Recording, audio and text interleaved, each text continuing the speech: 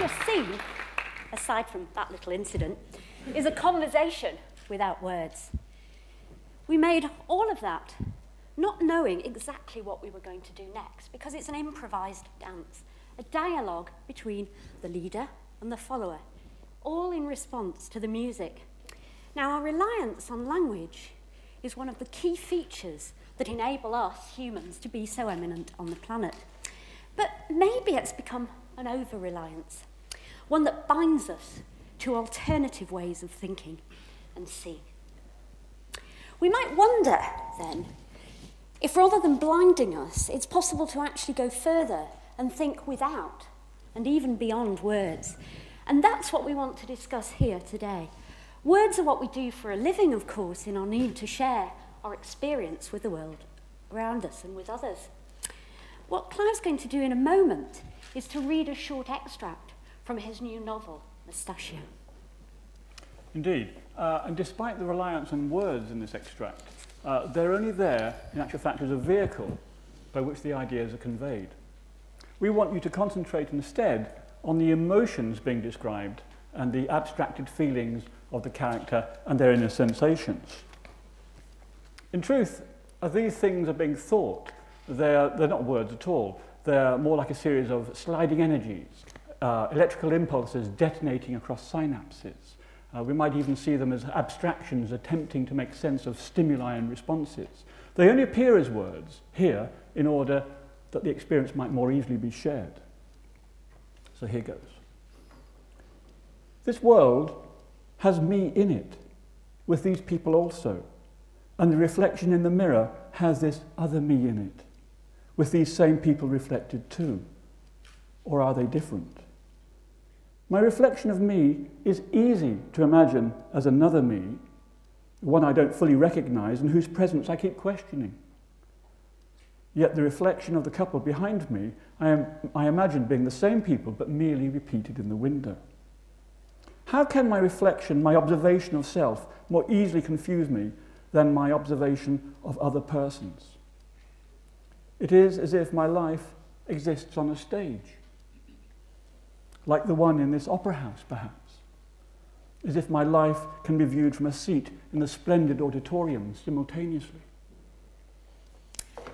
When interpreted as abstracted ideas floating within the miasma of being, this passage becomes even more beautiful. Despite the illustration being literary, we also have the capacity to convey and understand ideas non-verbally. Indeed, we use subtle and complex non-linguistic communication systems more than we realise. It can often exist within our normal level of conscious thought, subtly altering our interactions with the world around us. Indeed, the psychologist Abercrombie wisely remarked, we speak with our vocal organ, but we converse with our whole body. One of the big questions here is whether such signals communicate as powerfully and as effectively as words do. And the answer is yes and no. Where the answer is yes, the effect can be phenomenal if you understand what you're looking for and if you're tuned into the dialogue. It's the area where some of our most important human traits are described. Now, language is great for illuminating systems, but these other forms of communication get to the very heart of the subjective experience of thinking, throwing light on who we really are and how we really feel about each other. And we call it the captured thought. These non-linguistic forms of communication are common in the animal kingdom. Rooks, like many other social animals, don't have language. So how do they bond and how do they learn to cooperate with each other? Their synchronicity in this clip reveals the connection and commitment. We can see the same things in ourselves if we learn to look, and if we care enough.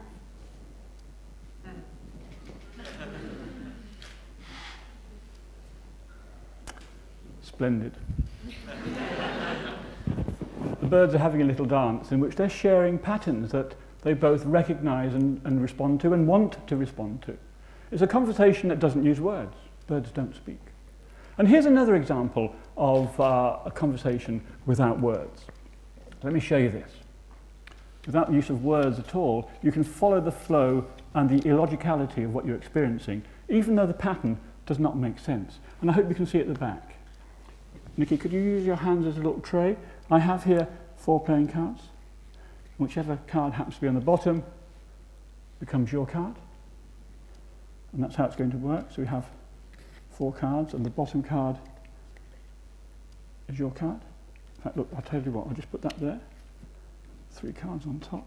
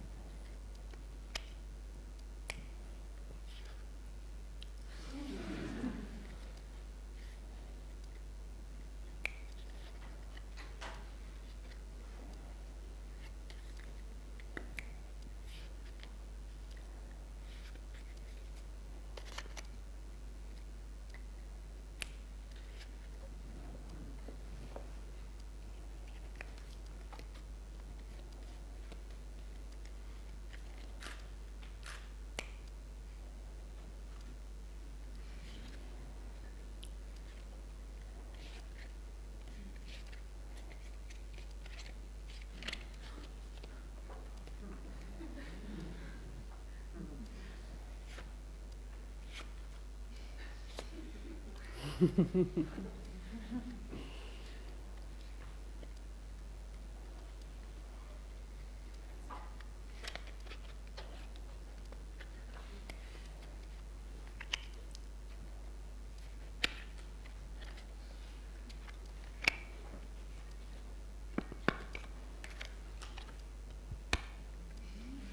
you very much.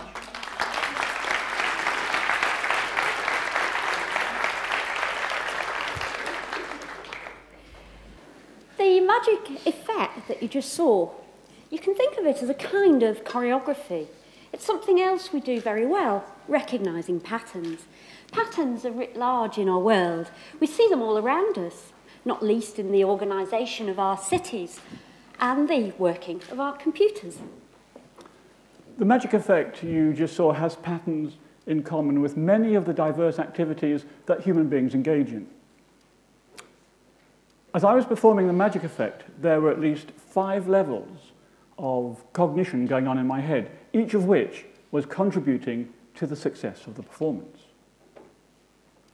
Let's unpack what was happening as you were watching the card effect. I was aware that you were watching, whilst you were perhaps unaware that I was knowingly watching you, whilst monitoring at a third level what was going on.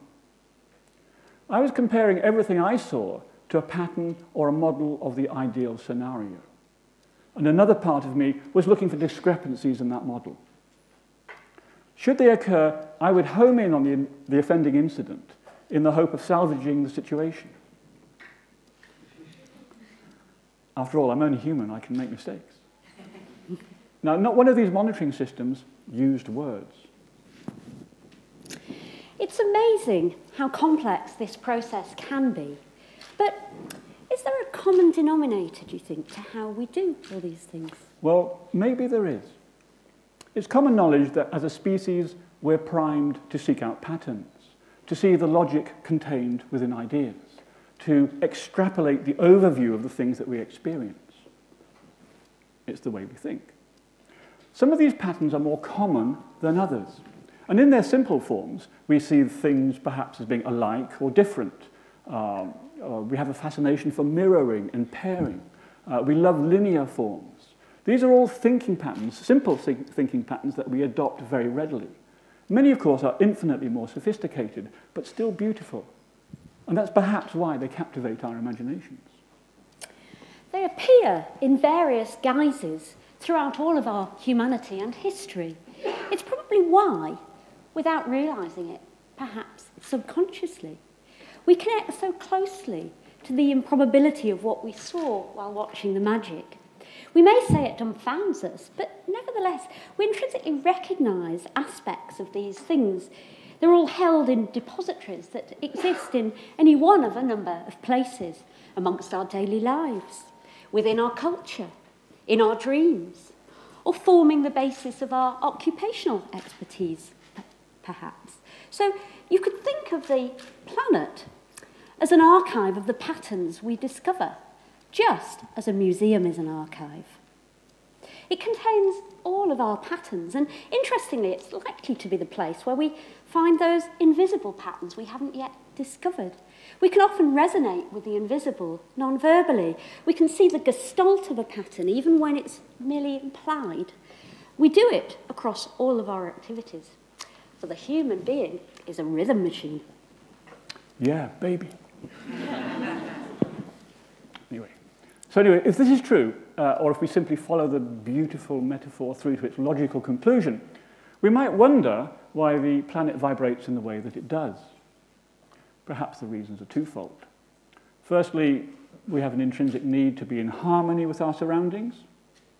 Uh, secondly, we have a deep-rooted desire to be understood by others around us.